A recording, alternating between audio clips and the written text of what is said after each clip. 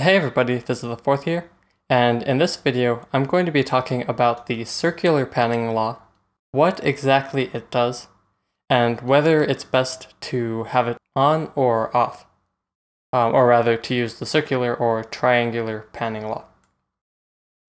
So right now I have the panning law set to triangular. So what I show you right now is how panning and stereo kind of works without the circular panning law, kind of how it works. Um, I want to say normally, but that's not the best word for it, uh, but hopefully you understand what I mean. So you can see on this um, meter over here, level meter, if I play this hand clap, you can see it peaks uh, just below minus 8 decibels. And if I pan it um, to either side, you will see that it still peaks at minus 8, so the level is not changed by panning it.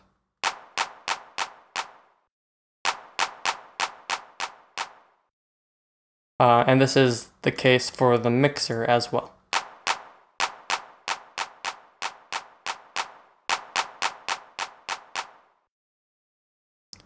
And you might be able to hear, you know, as this happens, it kind of appears to be less loud uh, when it's panned compared to when it's in the center.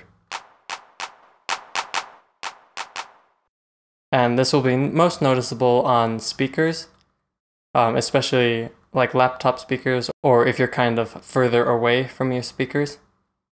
Um, but it, it, should be a bit noticeable. Um, even in headphones, I can kind of tell, but it's, it's a little bit weird because it's, you know, you're only hearing it in one ear. But hopefully you can hear that it, you know, as I pan it, it does sound quieter the further it gets panned.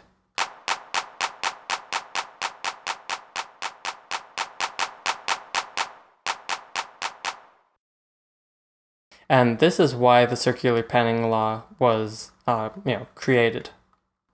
You know, if you're automating the panning of something, you might not want it to be perceived as less loud when it goes to the side you, know, you might want it to stay at a consistent apparent volume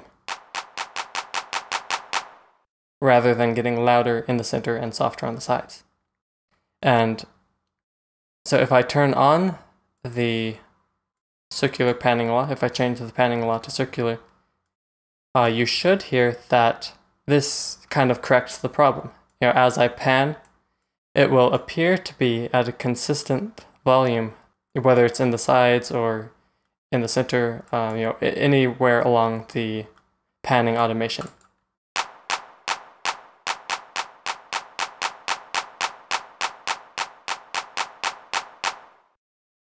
You know, um, compare that to the triangular panning law again.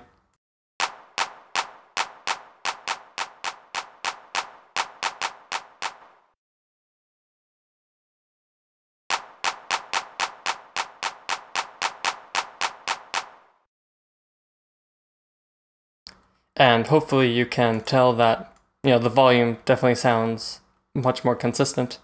Um, to me, it sounds like it is the same level wherever it's panned.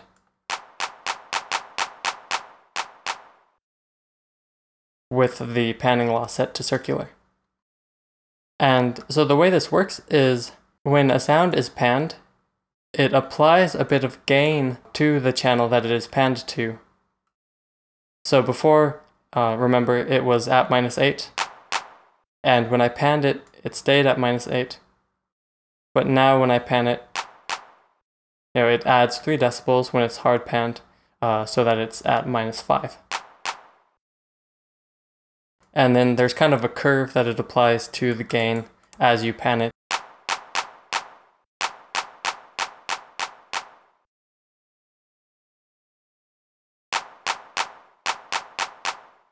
Um, but when it is hard panned, it's a 3 decibel gain that it adds. And so that's really all the circular panning law does. You know, it adds a bit of a gain when you pan a sound either direction. And so whether you leave it on or off is up to you, but it really only matters when you're, you know, automating the panning. Because if you're not automating the panning, you know, it's going to add some gain if you pan it, but you know you can always adjust that later on um, as you should while you're mixing Yeah, so it, it really only matters when you're automating the panning of something. And my personal recommendation is to leave it on, leave the circular panning law on, because it is it is a nice effect. You know, I like things to be a consistent volume when I pan them, uh, if I'm automating the panning. And also, it's kind of a difficult effect to recreate.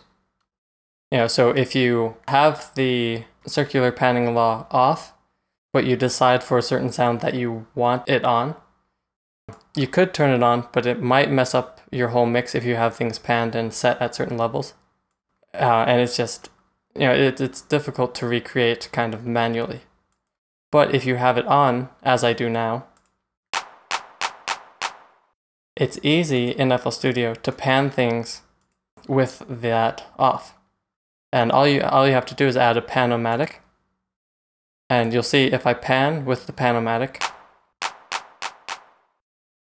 you know, it stays at minus 8 decibels.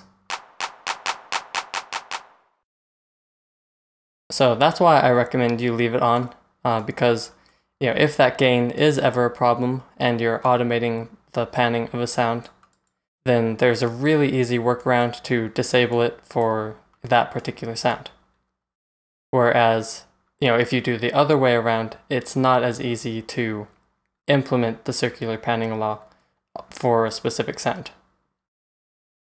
So that's pretty much it for this video. You know, hopefully that was helpful. Hopefully that answered any questions or resolved any confusion you, you might have had about the circular panning law. And if you're new to the channel, be sure to subscribe, and I'll see you in the next video.